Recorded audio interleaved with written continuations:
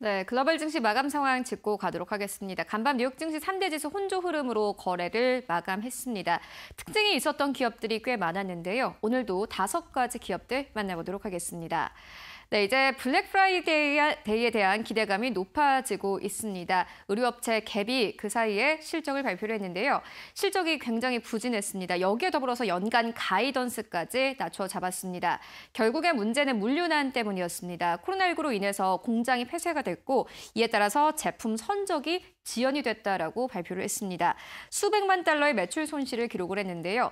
여기에 더해서 휴일 동안 이 항공 혼자 문제를 해결하기 위해서 항공 화물에 더 돈을 많이 투자를 했다라고 밝혔습니다. 기업 측에서는 떠안아야 할 비용이 더 많아질 수밖에 없는 상황입니다. 이에 대해서 이 갭의 CEO는 급격한 공급망 역풍이 결국에는 고객 수요에 영향을 미쳤다라고 발표를 하기도 했습니다. 간밤 증시에서는 주가가 20%가 넘게 빠지면서 거래를 마감을 했습니다. 네, 이어서 다음 업종으로 옮겨가 보도록 하겠습니다. 이번 블랙 프라이데이에는 이 의류업체들의 주가의 흐름은 좋지 않지만요. 결제주들이 움직이고 있습니다. 이 CNBC 측에서는 미국인들이 큰 돈을 쓸 준비가 되어 있다라고 보도를 하기도 했는데요. 이 간밤에 전국 소매 연맹은 올해 휴가 지출이 다시 한번 기록을 경신할 것이다라고 이 발표를 하기도 했습니다. 특히나 3분기 이 신용카드 잔액이 이 170억 달러가 증가한 것으로 나타났는데요. 이에 따라서 결제 소주들의 주가가 큰 폭으로 움직였습니다. 어, 펌의 경우에는 4%가 넘게 상승했고 시가총액이 작은 마케타의 경우에는 주가가 10% 가깝게 상승하면서 거래를 마감했습니다. 네, 이어서 다음 기업들 만나보도록 하겠습니다. 델과 HP인데요. 역시나 마찬가지로 실적을 발표를 했습니다. 어닝 서프라이즈를 기록을 했는데 이 두 기업 모두 다 시장의 컨센서스를 상회하는 매출을 발표를 했습니다.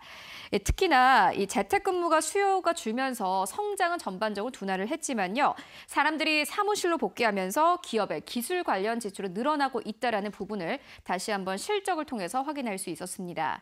HP의 경우에는 소비자 매출 같은 경우에는 전년 동기 대비 했을 때 3%가 넘게 줄었지만 사업용 PC 같은 경우에는 25%가 넘게 성장한 것으로 나타났습니다. 이에 대해서 델의 CEO는 PC의 수요가 코로나19 이전보다도 더 높아졌다라는 긍정적인 발언을 내놓기도 했습니다. 이 델의 주가는 5%가 넘게 뛰었고 HP의 주가는 10%가 넘게 뛰기도 했습니다. 네, 이어서 네 번째 기업 만나보도록 하겠습니다. 알리바바인데요. 최근에 부진한 실적을 발표를 했습니다. 주가가 하락세를 나타내고 있는 가운데 배런스는 오히려 이 알리바바가 최근에 투자 의견이 하향 조정됐지만은 긍정적으로 보고 있다라는 기사를 내놓기도 했습니다.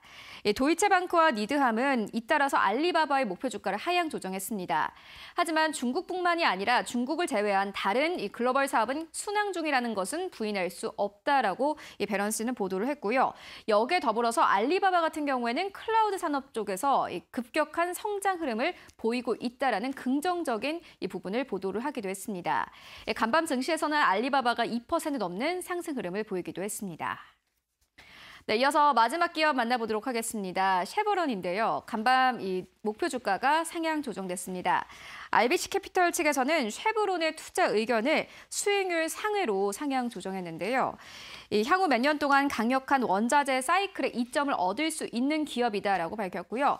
여기에 더불어서 동종 업체보다도 전반적인 사업의 포트폴리오가 안정적이다라고 투자 의견을 제시를 했습니다. 간밤 증시에서는 1% 가깝게 상승하면서 거래를 마감했습니다. 네, 이렇게 여러 가지 기업들의 주가 흐름을 만나보고 왔는데요. 전문가의 시선은 어떨까요? 오늘은 SG 글로벌 센터의 김성규 소장 만나보도록 하겠습니다. 안녕하십니까? 네, 안녕하세요. 네, 간밤 뉴욕 증시 3대 지수 흐름 괜찮았습니다. 오늘 우리 증시의 영향과 분위기 어떻게 보십니까?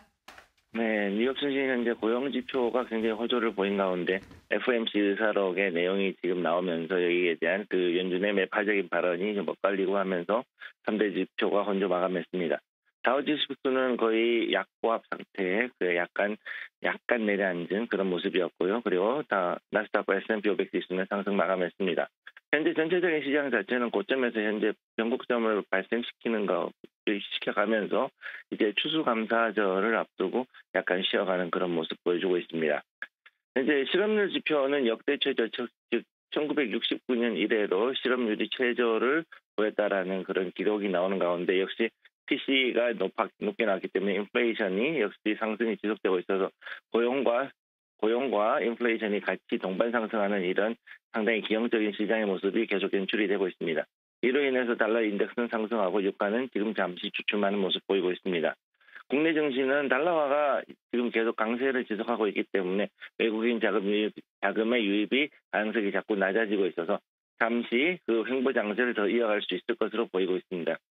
현재 미국이 미국 주변 동맹국들과 함께 그 전략 비축 즉 SPR을 방출을 하기로 결의를 하고 지금 진행하고 있음에도 불구하고 유가 상승세를 잡지 못하는 상황이며 이로 인해서 인플레이션이 지속될 것이라는 우려가 지금 높아지고 있습니다.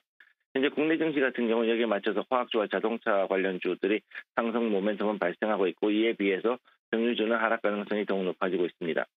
현재 미 증시 같은 경우 3분기 GDP가 2.1% 상승해서 시장 예측률보다는 상승, 예상보다 상당히 하회하는 모습을 보여주고 있고 경기 회복이 오히려 이제는 둔화세를 볼 것이다라는 이야기를 하고 있습니다.